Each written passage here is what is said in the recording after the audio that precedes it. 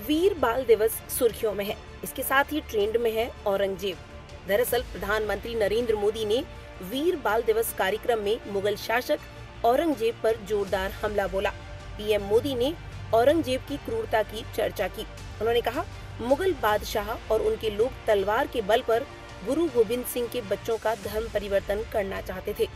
लेकिन जब यह संभव नहीं हुआ तो उसने गुरु गोविंद सिंह के बच्चों को मार डाला। यही कारण है कि ट्विटर पर औरंगज़ेब ट्रेंड करने लगा।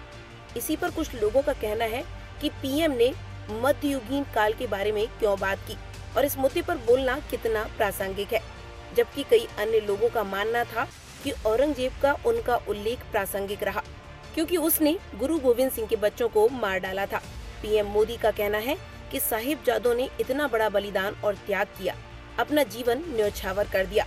लेकिन इतनी बड़ी शौर्य गाथा को भुला दिया गया। लेकिन अब नया भारत दशकों पहले हुई एक पुरानी भूल को सुधार रहा है। उस युग की कल्पना कीजिए, जब औरंगज़ेब के आतंक के खिलाफ, भारत को बदलने की उनकी योजनाओं के खिलाफ गुरु गोविंद सिंह जी पहाड़ की तरह खड़े थे। उन्होंने कहा, एक तरफ़ धार्मिक कट्टरता से अंधी शक्तिशाली मुगल सल्तनत थी और दूसरी तरफ़ भारत के प्राचीन सिद्धांतों के अनुसार ज्ञान और जीवन जीने वाले हमारे गुरु थे। प्रधानमंत्री ने कहा, अगर हमें भारत को भविष्य में सफलता के शिखरों तक ले जाना है तो हमें अतीत के संकुचित नजरियों से भी आज़ाद होना होगा। इसलिए आज़ादी के अमृत काल में देश ने गुलामी की मानसिकता से मुक्ति का प्राण फूका है। हम आज़ादी के अमृत महोत्सव में देश के स्वाधीनता संग्राम के इतिहास को पुनर्जीवित करने का प्रयास कर रहे हैं।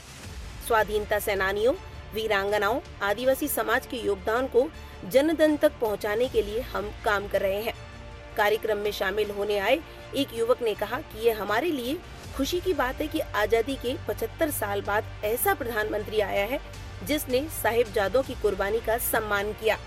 कार्यक्रम में शामिल होने आए युवक ने कहा कि यह हमारे लिए खुशी की बात है कि आज़ादी के 75 साल बाद ऐसा हो रहा है, जब साहिब जादों की कुर्बानी का सम्मान किया जा रहा है।